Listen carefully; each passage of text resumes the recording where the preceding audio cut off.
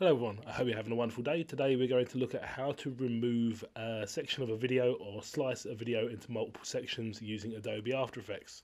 It's a very quick tutorial. So let's say we've got our video here of our tortoise and we want to cut the section between 10 seconds and 14 seconds because we don't want it. So what we can do, we can go to 10 seconds and we can press Control Shift and D or that would be Command Shift and D if you're using an Apple Mac. You can see that it's created a slice there and made it to two videos. We can move it to the second position.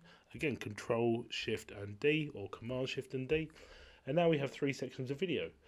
We can remove, highlight the middle section, we can delete it. And then we can move this section back so that it joins with the first one. And now, there you go.